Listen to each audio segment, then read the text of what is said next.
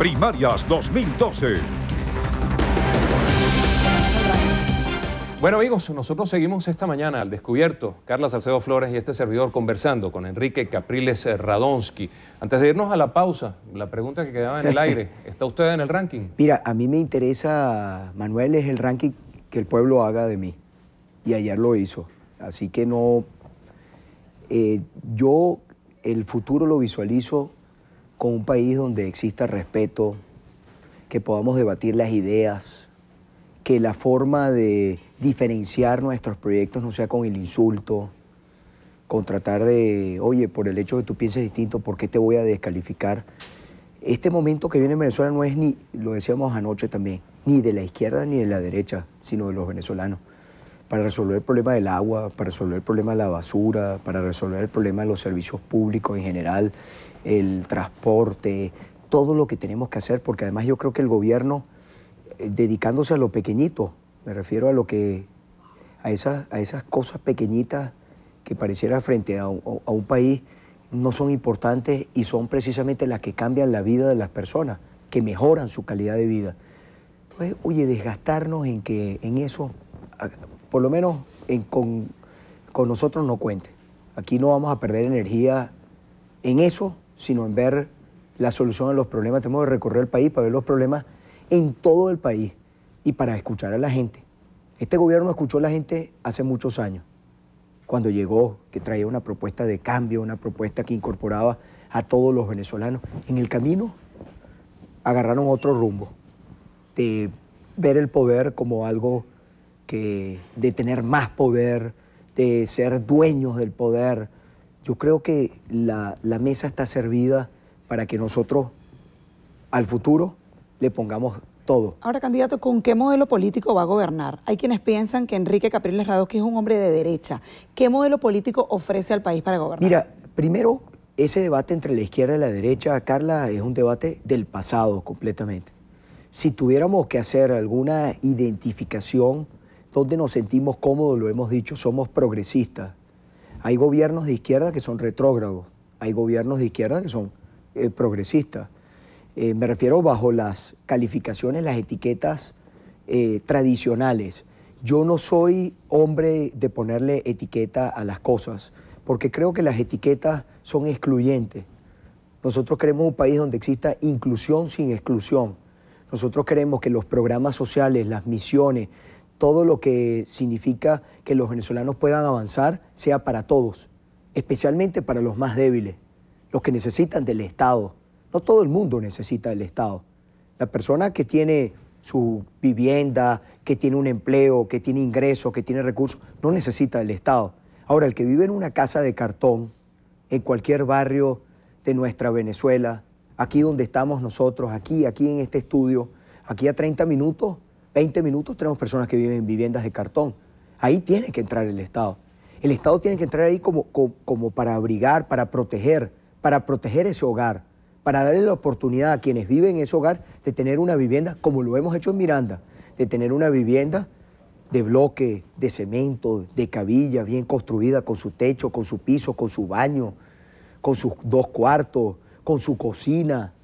Eso lo hemos hecho en nuestro estado. No es, no es que suene bonito, lo hemos hecho. No nos hemos quedado en la promesa y nos hemos quedado en el discurso de horas y horas y horas, hablando de un país dentro de 20 años. No, nosotros tenemos que resolver los problemas del, país ahora, no esperar 20 años, no esperar una generación, sino hacerlo ahora.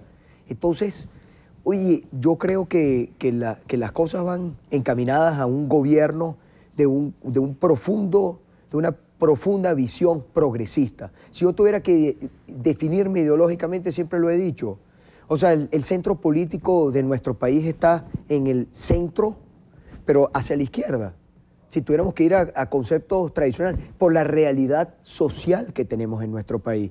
Cualquier gobierno que venga en, nuestra Venezuela, ¿dónde tiene que poner el acento? Para poder tener un país que es más igualitario, un país donde hay menos desigualdad, es un país incluso donde la gente tiene la oportunidad de vivir más años.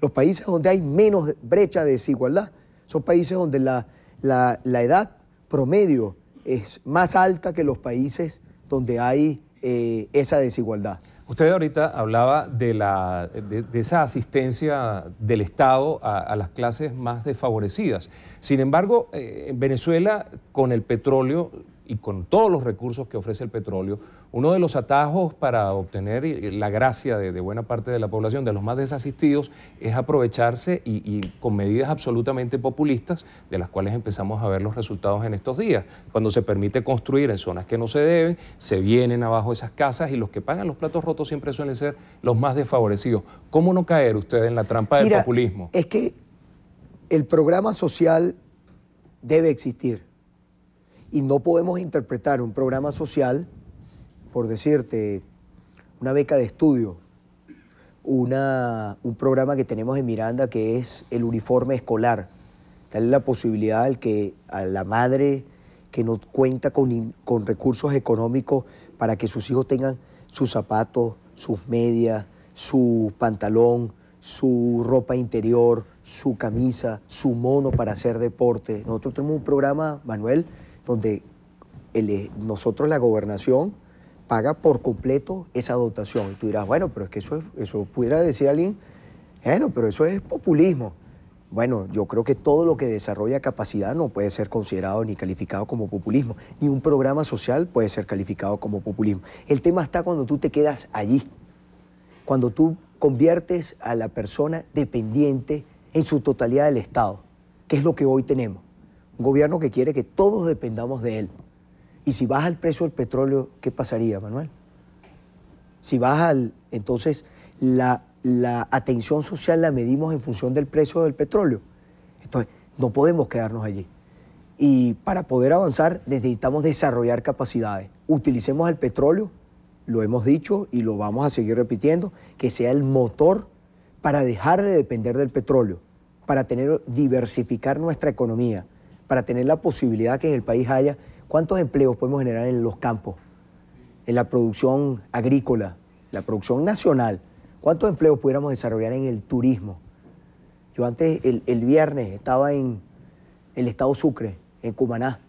Oye, yo, yo imagino ustedes han ido alguna vez por allá. Oye, tú me vas a decir que las playas de esas islas del Caribe son más bonitas que las playas... De Monchima, por ejemplo. Exactamente. No, o sea, de, bueno, ahora todo. Ajá, tú me vas a decir que no. Ahora, ¿qué pasa en, las islas del Caribe? Bueno, han desarrollado el turismo. ¿Y por qué nosotros no podemos desarrollarlo? ¿Quién ha dicho que no? Entonces no hay nada imposible. Ahora, el Estado se prometieron universidades del turismo. ¿Dónde están las universidades del turismo? Las construyeron. Se quedaron en promesa. Como muchas de las cosas. Entonces el petróleo veámoslo para poder desarrollar turismo, para poder desarrollar el campo, para poder tener industria, para poder tener comercio, la minería. En este, en este recorrido por Venezuela llegamos hasta el, bueno, fuimos al Callao, tuvimos una oportunidad de estar un tiempito en el Callao, ¿no? En el Callao no hay, que, que es una zona de la minería, de la producción de oro, no hay oro sea, porque entonces, bueno, el Estado dictó un decreto para acabar con los mineros y entonces para que el Estado tenga control y ahí está. Entonces, ni el Estado lo hace, ni los mineros lo hacen. Bueno, pero ahí también hay un tema ecológico, ¿no? Que hay que cuidar. pero puedes hacerlo, sin duda alguna, Manuel. Tú puedes tener una minería con, con respeto al medio ambiente. O sea, perfectamente. Eso como que tú me digas, bueno, mire, usted no puede caminar y comer chicle. Porque si come chicle, eh, bueno, bota, bota aire y contamina el ambiente. O sea, son, son de verdad a veces que tú escuchas la respuesta y tú dices, oye, es un tema del Estado querer controlarlo todo y al final no permite que el país se desarrolle. Entonces, ese es el objetivo. A todas las personas que nos están viendo, ese es el objetivo que nosotros tenemos. Ahora fíjese algo, candidato. Hay un sector del país que ve a Enrique Capriles Radosky como alguien que va a llegar al gobierno a hacer una cacería de brujas, y esto básicamente por lo ocurrido en la embajada el 11 de abril. ¿Qué mensaje le da a esas personas que hoy piensan que si Enrique Capriles Radowski llega a la presidencia el 8 de octubre, amanecerá, como quien dice, cortando rabo y oreja?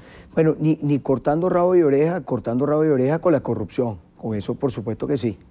Porque el país quiere tener un gobierno donde la corrupción sea castigada donde no exista corrupción en, todas las instituciones.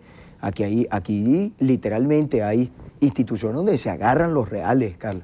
Se lo agarran, hay denuncias de corrupción, salen las personas y ahí queda.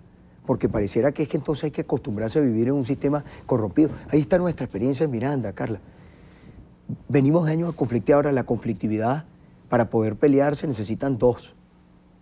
Mm, ahí, ahí no, no es que había un sector que peleaba solo, había un sector, había una confrontación que hoy el gobierno quiere seguir alentando, pero una confrontación entre dos partes.